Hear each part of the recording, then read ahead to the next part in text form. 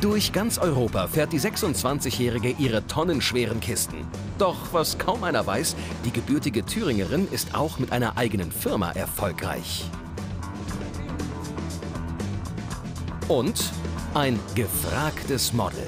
Aber egal um was es sich am Ende dreht, eine Sache ist immer Pflicht. Ich brauche mindestens 300 PS, mindestens. Sabrina ist eine PS-Prinzessin und ein echtes Multitalent. War noch nie in der Waschanlage mit meinem Auto. Mit keinem meiner Autos. Nicht mal mit einem Leihwagen würde ich in die Waschstraße fahren. Wie bekommt sie ihre Jobs alle unter einen Hut? Ich kann mich nicht entscheiden. Ich will mich auch gar nicht entscheiden, ob ich LKW fahre, meine Aufbereitung habe oder eben nebenbei mal Model. Ein Reihenmittelhaus in einem Dorf in Oberfranken. Hier wohnt Trucker-Babe Sabrina. Ich bin ja überhaupt nicht so der Stadtmensch. Ich meine, ich bin schon in einem Dorf aufgewachsen, also habe ich natürlich auch keinen Bock, mitten in der Stadt zu wohnen, weil ich habe lieber mein ruhiges Etwas und weiß, wenn die abends meine Tür zumacht, da ist kein Action mehr. Für Action sorgt die 26-Jährige ohnehin selbst. Dazu gehört auch ihr Auto für den Alltag. Ein 435 PS starker SUV in Lieblingsfarbe lila. Die Leute, die das Auto sehen oder halt äh, wissen, dass die Firma hier ist, die werden sich da nichts mehr dabei denken. Schätze ich jetzt mal. Und es gibt ja bei uns im, im Ort auch ähm, ganz schöne Häuschen, die mit Sicherheit auch mehr als meine Autos kosten. Da ich meine Zeit hauptsächlich im Auto oder im LKW oder irgendwo verbringe, möchte ich mir natürlich meine Autos gerne raussuchen wollen und möchte dann, dann natürlich auch ein schön ausgestattetes Auto fahren. Ich finde es gerade schlimm, wenn Leute schöne Häuser haben, richtig extrem schöne Häuser, aber dann steht nur ähm, eben ein VW ab vor der Tür oder so. Sabrina ist unterwegs nach Neuenmarkt. Hier hat Kumpel Michael eine Tuning-Werkstatt. Schaut meine Karre schon wieder aus, da hier. Sabrina kommt ab und zu her zum Shoppen. Auf dem Einkaufszettel Tuning-Teile für ihren SQ7 oder den Sportwagen ihres Mannes.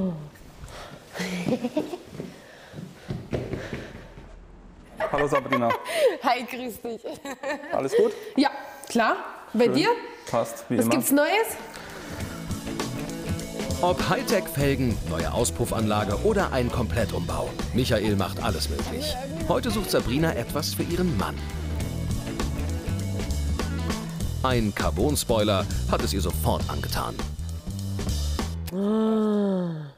Das wäre schon geil.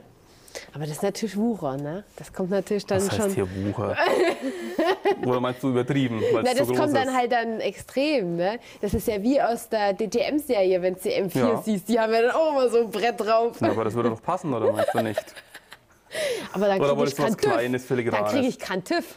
Na, das müssen wir halt mal schauen, ob wir das mit Einzelabnahmen durchbekommen. Noch ist Sabrina nicht ganz überzeugt. Sie schaut sich weiter um. In einem Punkt aber weiß das Trucker Babe ganz genau, was sie will. Alles außer V8 ist asozial. Aber das können wir jetzt nicht sagen. Ich brauche mindestens 300 PS. Mindestens. Also ich glaube, ich fahre auch kein Auto unter. Also meine Autos haben ja alle Ü400. Also ja, und auch die LKWs.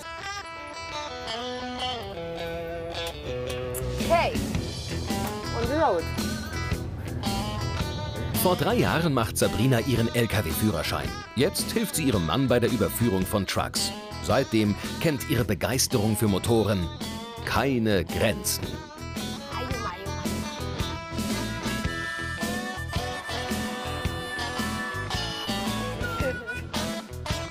Ey, wenn ich würde, ich würde noch ein Turbo draufpacken und würde 150 fahren. Zurück bei Tuning-Kumpel Michael. Sabrina ist noch unentschlossen. Der Tuner hat aber ein Näschen dafür, was seiner Stammkundin gefallen könnte. Boah, wie fett ist das? Ich brauche lilane, lilane. Ja. Sabrina, schau her. Würde das nicht passen? Oh, wie fett ist das? Ich brauche unbedingt lilane Gurte. Die würden doch genau zu der Farbe von deinem Q7 Boah, ich will lilane Gurte. machbar. Kein Problem. Auf jeden Fall, das muss ich bei dir bestellen. Statt Spoiler gibt's lilafarbige Sicherheitsgurte. Doch noch ein erfolgreicher Shoppingausflug für Trucker Babe Sabrina. Obwohl Samstag ist und keine Lkw-Überführungen anstehen, muss sie trotzdem arbeiten. Es geht 230 Kilometer Richtung Süden. Ihr Ziel? Ein Fotostudio in München. Hier wartet bereits ihr Zweitjob, ein erotisches Fotoshooting. Hi, spaziert. Hallo, herzlich willkommen. Danke. Komm rein, komm rein. Denn Sabrina modelt nebenher. Heute stehen gleich fünf verschiedene Motive auf der Tagesordnung. Das bedeutet, die Mitarbeiter bauen das Studio mehrmals um. Und auch Sabrina bekommt das volle Beauty-Programm. Ganze vier Stunden braucht die Stylistin für die Maske. Ohne Pause zuppelt sie an der 26-Jährigen rum. Für Sabrina könnte der Unterschied zu ihrem Alltag als Trucker-Babe nicht größer sein. Wenn ich ähm, im LKW unterwegs bin, dann ähm, schminke ich mich eigentlich grundsätzlich fast gar nicht, weil ich eigentlich keinen Bock dazu habe. Lieber schlafe ich etwas länger, weil das kostet mich ja sonst wieder Zeit. Und dann wird auch meistens nur eine BB-Creme aufgetragen, ein bisschen halt, dass man ein bisschen braun im Gesicht ausschaut und das war's dann auch schon. es ist bei mir grundsätzlich so, das Auto schaut meistens besser aus wie ich. Ah, nicht so bescheiden, Sabrina. Die nächsten fünf Stunden steht sie jetzt vor der Kamera. Letzte Handgriffe, dann legt der Fotograf los.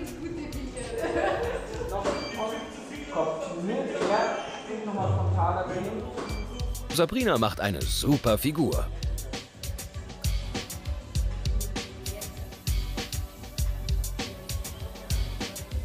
Pose ist schon mal sehr cool. Kein Wunder, sie stand schon für die Creme de la Creme der Trucker-Szene Modell.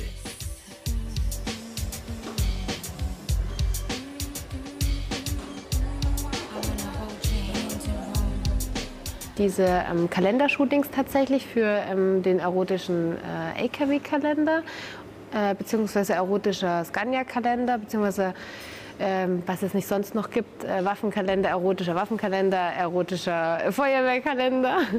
da durfte ich ja schon überall mal mit dabei sein. Besonders begeistert sind ihre Fans von ihren Tattoos. Michael Jackson, die komplette Fast and the Furious Gang und Michael Schumacher zieren ihren Körper.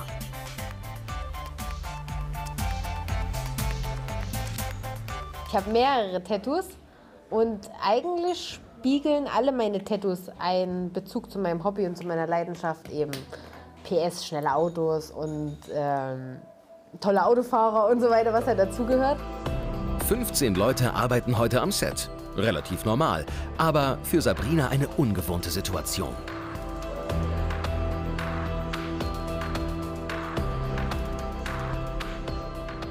Hier kümmern sich irgendwie alle um einen und äh, man ist so der zentrale Mittelpunkt des Geschehens. Das bin ich sonst nicht gewohnt, weil ich mich immer selbst organisieren muss und eben nichts gemacht oder eben von anderen nichts gemacht bekomme. Ich muss mir alles hart selbst erarbeiten. In ihrem normalen Job als Trucker Babe arbeitet Sabrina größtenteils allein. Seit drei Jahren unterstützt sie ihren Mann bei der Überführung von Lkw quer durch Europa. Doch damit nicht genug. Sabrina hat noch ein weiteres Standbein.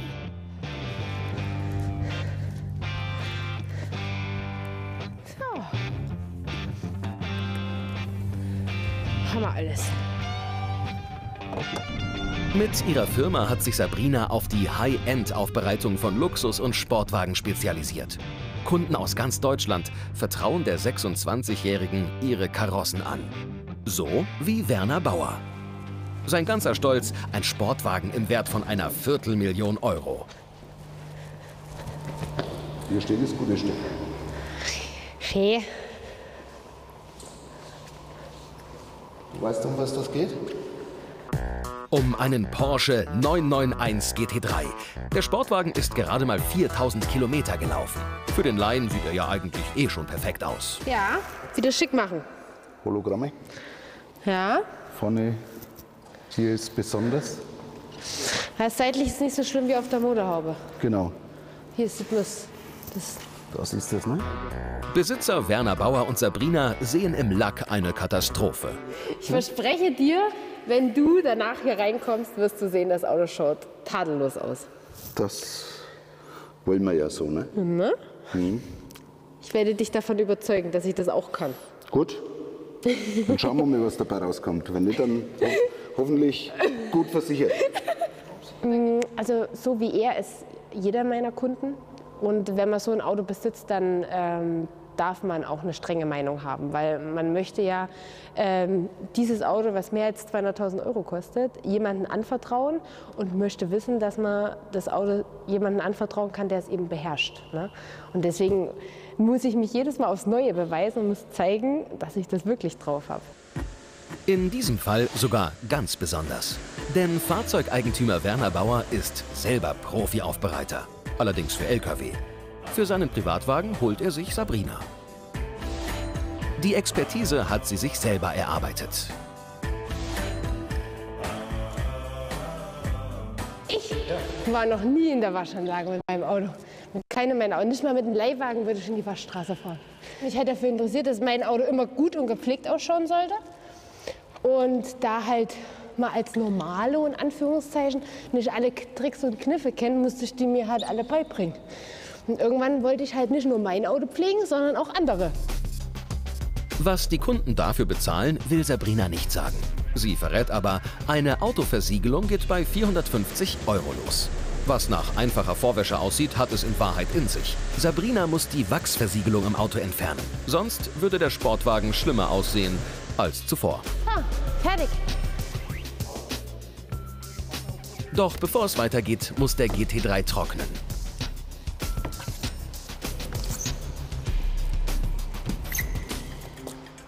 Sabrina hat die Fotos vom Shooting geschickt bekommen.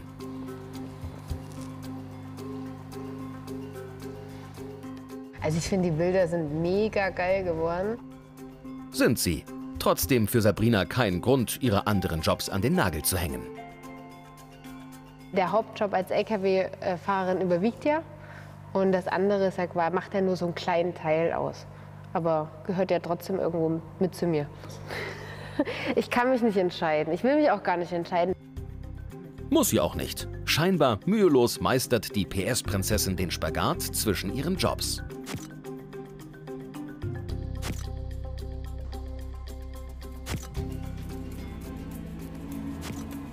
Der kritische Moment naht. Bald wird sich zeigen, ob der anspruchsvolle Kunde mit Sabrinas Arbeit zufrieden ist. Für den Vorher-Nachher-Effekt klebt sie den Porsche ab. Mit der Poliermaschine geht sie an den Lack des 250.000 Euro teuren Sportwagens. Wenn sie jetzt einen Fehler macht, ist nicht nur der Kunde verloren, sondern auch viel Geld. Allein die Motorhaube des GT3 kostet 22.000 Euro.